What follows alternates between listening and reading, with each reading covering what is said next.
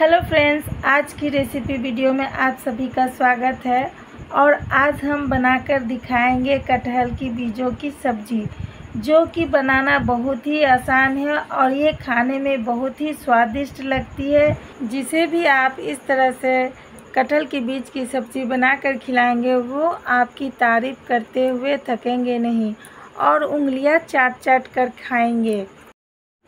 तो super tasty recipe बनाना start करते हैं। तो मैंने यहाँ पर 250 ग्राम कटहल की बीज ली है, जो कि मार्केट में अभी इजली मिल जाती है और अभी पके हुए कटहल भी बहुत ज़्यादा मिल रहे हैं तो उसी की ये बीज है। तो अच्छी तरह से पहले बीज को धो लेंगे। तीन से चार बार पानी से धो लेंगे। उसके बाद कुकर में सारे बीज को डाल देंगे।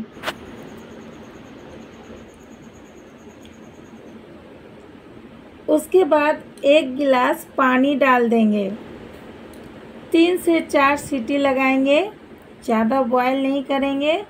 तीन से चार सीटी में अच्छी तरह से बॉयल हो जाती है। तो साथ में मसाले की भी तैयारी कर लेंगे। तो मैंने यहाँ पर एक बड़ी प्याज ली है, दस से पंद्रह लहसुन की कलिया ली है, चार हरी मिर्च ली है, एक टमाटर ली है और हाफ़ इंची अदरक ली है। तो सभी का पेस्ट बना लेते हैं।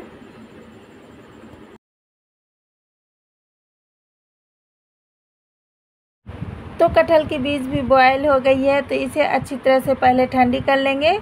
उसके बाद सारे छिलके उतार लेंगे। तो दो भाग में काट लेंगे सारे बीज को और उसके बाद सारे छिलके उतार लेंगे, जो कि बहुत ही इजीली उतर जाते हैं छिलके। आप चाहो तो बॉयल करने से पहले भी छिलके उतार सकते हैं। इस तरह से सारे छिलके उतार लेंगे।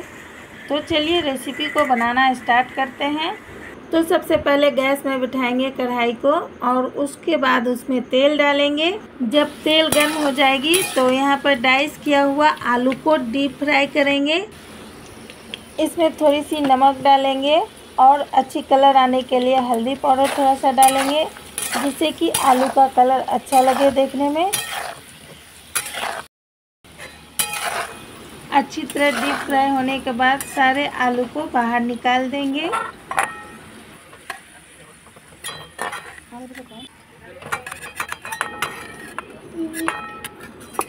और बचे हुए तेल में एक चम्मच जीरा डालेंगे।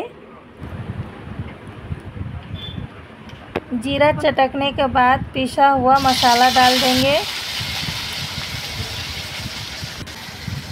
मसाले में थोड़ी सी पानी ऐड करेंगे, नहीं तो फिर मसाला नीचे से जल जाएगी। अच्छी तरह मिक्स करने के बाद सूखा मसाला डालेंगे। तो सबसे पहले हाफ़ चम्मच हल्दी पाउडर, एक चम्मच धनिया पाउडर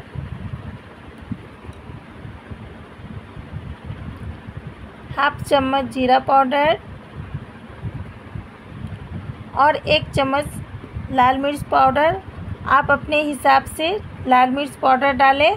और उसके बाद स्वाद अनुसार नमक डालें और अच्छी तरह से सारे मसाले को मिक्स कर लेंगे।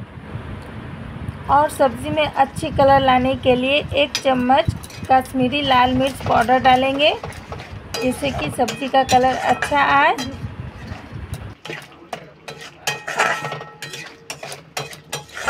सारे मसालों को धीमी आँच में फ्राई करेंगे। और जब तक कि अच्छी तरह से फ्राई ना हो तब तक भूनते रहेंगे मसाला को। मसाला अच्छी तरह से फ्राई हो चुकी है। तो अब यहाँ पर ऐड करेंगे फ्राई किया हुआ आलू और साथ में बीज को भी डाल देंगे। दोनों को अच्छी तरह से मसाला में मिक्स करेंगे। दो से तीन मिनट तक इसी तरह मसाले के साथ फ्राई करेंगे।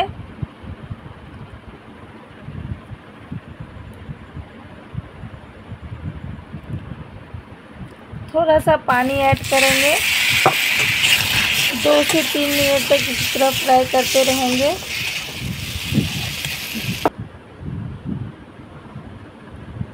अब इसमें पानी डालेंगे। तो आप यहाँ पर जितनी ज़रूरत है उसी हिसाब से पानी डालेंगे। मैंने यहाँ पर एक गिलास पानी डाली है। अच्छी तरह से मिक्स कर लेंगे। उसके बाद ढक कर दो से तीन मिनट तक पका लेंगे।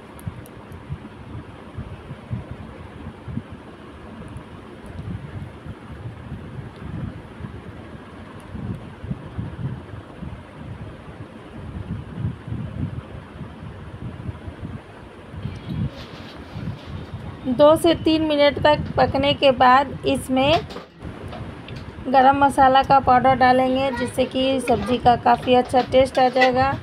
दो से तीन मिनट इसी तरह पका लेंगे। रेसिपी बनकर तैयार हो गई है और ये देखने में कितनी टेस्टी लग रही है फ्रेंड्स कितनी आसान है ना ये रेसिपी बनाना। तो फ्रेंड्स आप भी इस तरह से ट्राई कर सकते हैं और सुपर टेस्टी टेस्टी कटहल के बीज की सब्ज़ी बनाइए। और आप इसे रोटी, पूरी या चावल के साथ इंजॉय कर सकते हैं। तो आपको सुपर टेस्टी रेसिपी कैसी लगी है कमेंट करके ज़रूर बताइएगा। रेसिपी अच्छी लगी तो लाइक शेयर और सब्सक्राइब ज़रूर करें।